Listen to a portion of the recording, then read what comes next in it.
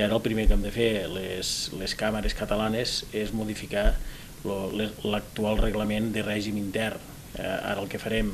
durant aquests pròxims mesos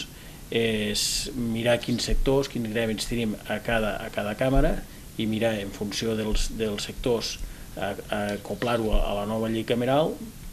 i posarem entre un, mínim, entre un mínim de 10 persones i un màxim de, de 10 persones, 10, 10 empreses i gent d'empreses. A partir d'aquí hi haurà un procés electoral que acabaria a l'octubre de l'any que ve, que és quan se farien les eleccions.